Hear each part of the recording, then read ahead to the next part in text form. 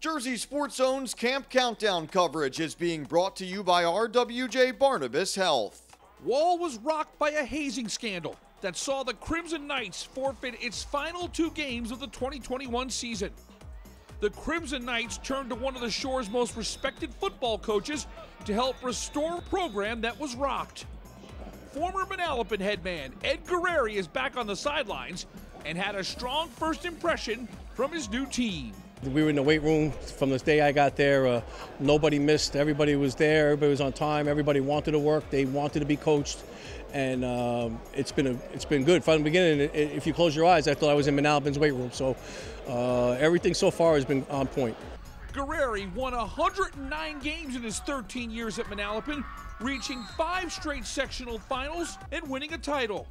The Crimson Knights players have quickly bonded with their new leader. He's everything we could have asked for in a new coach. He's just the best thing that's ever happened to us. He's awesome. I like his dynamic. And his, the way he rallies us is just all new and it's great.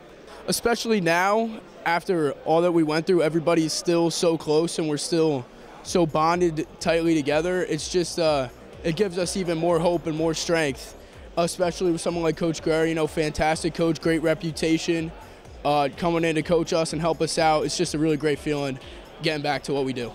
Wall will spend August finding new talent to fill in at key skill position spots. The strength of the Crimson Knights is up front on both sides of the line. That unit will be paramount to Wall being able to build confidence playing in the top tier American division of the Shore Conference. Oh, we just take tremendous pride in what we do, doing everything the right way and going 100% all, all the time. Wall's product on the field has been stellar over the past three years. Gurrieri already sees that the healing has begun for a team that truly has a clean slate in 2022. This is a great program. There's a bunch of really good football players here. Um, so unfortunately, you know, some things happened in the past.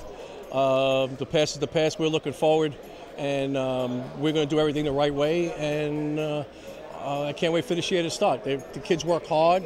They get after it. They love football, and that's all you can ask for. Reporting for Jersey Sports Zone. I'm Rich Crampanis.